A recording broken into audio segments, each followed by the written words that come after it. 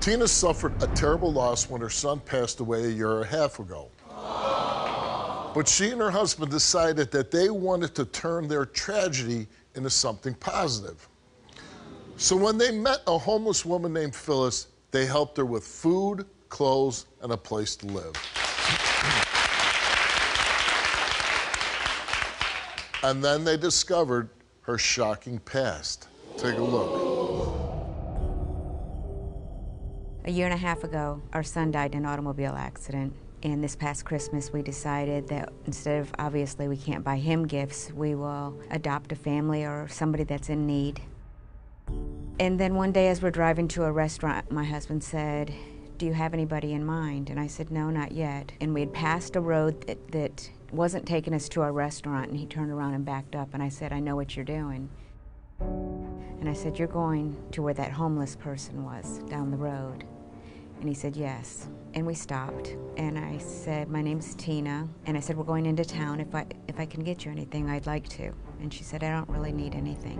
And I said, Okay. And I gave her $80 at that time, I believe. And that's how it all started that I met this homeless lady. Being homeless was horrible. I mean, I've got aches and pains that I never knew I had.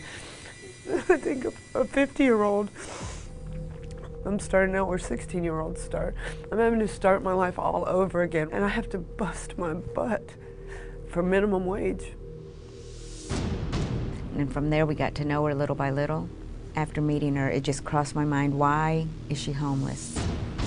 And it bothered me. And she made mention that she had been married in our county.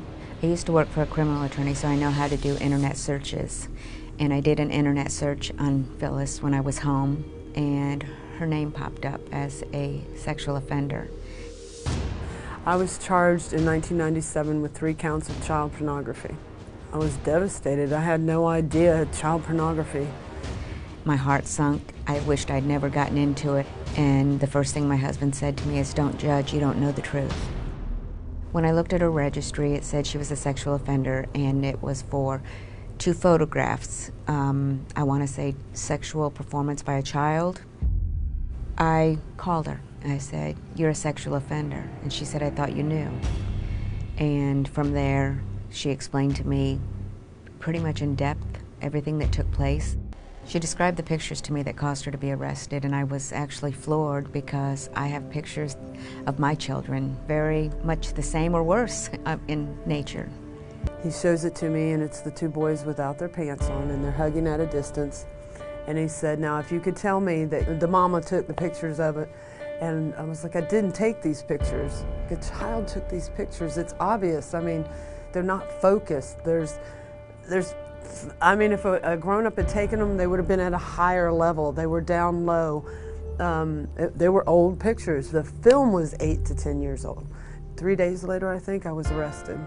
They came to my job and took me out in front of everybody it was devastating. I mean, I went from having holding my head up, being proud that I was a single mother working a job, to um, three counts of child pornography.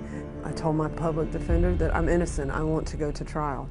Two years later, I finally go to trial, and then I'm convicted.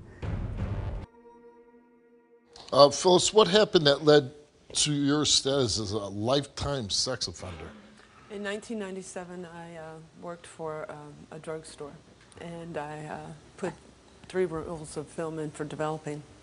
Um, had given me a box of stuff that said this is yours and the film was in there. I took it in for developing and was going away for four days and um, I came back to work. Then they show up and arrest me and I went through trial and was convicted. You were convicted of child pornography? No, they dropped it down to possession of a sexual performance. What uh, sentence were you given? Uh, 24 months probation. So you go through the process, you're helping her out. How did you find out that she was a registered sex offender? When I first met her, we got her an apartment. It's a monthly or weekly ordeal. And I'd listened to her talk. I'd taken a lot of everything she said. And she said she was married in the county I was in. And so I knew that I could do an internet search to see if she was truly married um, maybe to see if there was a criminal history or something. And that's when I did the internet search and found that she was a sex offender. and she gave me a description of the pictures. And, you know, I could think of in the background, I've got pictures that I probably wouldn't want people to see nowadays because I'm scared. Well, I'm sure I have pictures of my kids that they'd be mortified if I showed anybody. You know, they're running around the house naked and. Oh, I have one You know, of, of my son that was in the refrigerator. He had no bottoms on and he was reaching on his tiptoes. And that one was more, to me, um, and when I think of pictures like that, I don't think of pornography. no, No. but I they would said look it's like you. genitalia, so it's pornography. Do you believe? With all my heart. You do. And how long have you known each other now? Since December 3rd, because we got the apartment on the 4th. Okay. How important is it for you to clear your name? It's more important that that my child knows that this isn't his fault. And it breaks my heart that every day he has to live with. Even though I've told him over and over, it's not your fault, you were three and a half years old, he still harbors, you know, guilt for it. And um, sorry. I want it to go away for him Right. and I want to be able to. I haven't, I haven't seen my grandchildren. Because of this incident? Well, they live in, in the county that I was convicted of. I live in Oh, another so county. you have to stay away. Phyllis, we asked you, did you take any of those pictures of your sons and another child that led to your arrest? You answered no. Did you know the naked photos were on the film when you developed it that led to your arrest? You answered no. Were you present when those photos of your sons and another child were taken? You answer no. The results came back all the same, and they came back that Phyllis told the truth.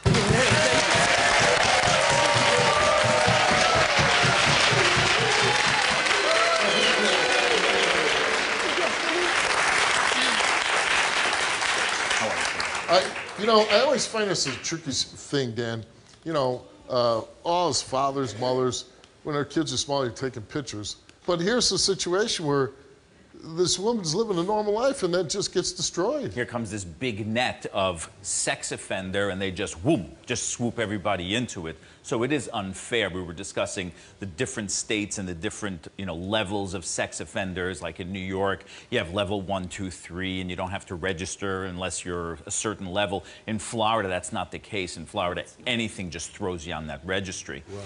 So, as a probationed sex offender, there's a program that's utilized in 50 states and many countries throughout the world called post conviction sex offender testing. In polygraph, we call it PSOT. And what happens is a sex offender comes out and they're assigned a parole or probation officer, they're assigned a therapist to try to help them not reoffend, and a polygraph examiner. So that forms what we call the containment model, right? Examiner, probation officer, and the therapist. And we're all there to help the sex offender not reoffend and to maintain public safety. She took a polygraph test, and her first polygraph test, if you deny that the offense took place, and many offenders do, it's called an instant offense test. And we test you, did you do it? And I gotta tell you, Steve, most offenders fail. She passed her instant offense test. I saw the report. I then conducted now, several years later, the same instant offense test and was able to once again conclude by the use of the polygraph that she was wrongfully convicted. Very well. Thank you. That's a good luck.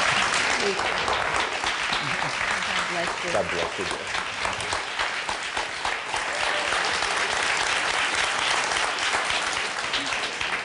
Uh, it's, it's a great story. It's about a person who, unfortunately, not because of your own um, situation or circumstances, but a woman came along and picked you up and helped you out.